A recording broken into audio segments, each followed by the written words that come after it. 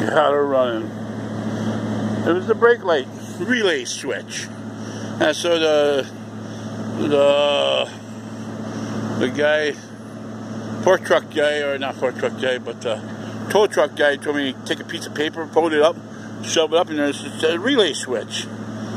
And Bill Warren, I noticed that when he put that new brake uh, booster in there, that uh, it was for a different year of a different van. It was for a van. And anyhow, I noticed it was lower to the floor. Mine was higher up. He said 200 bucks for the original part. He wasn't going to pay no 200 bucks, so he got a used part.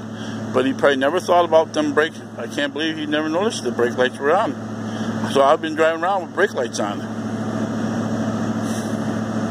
Go figure.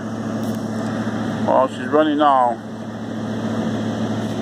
I'll call up Gail and say, I'm on my way. Yeah, so hopefully that piece of paper stays in.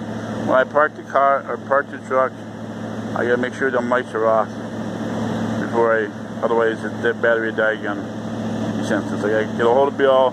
Somebody's gotta fix that relay switch. YouTube, go to subscribe. See you later.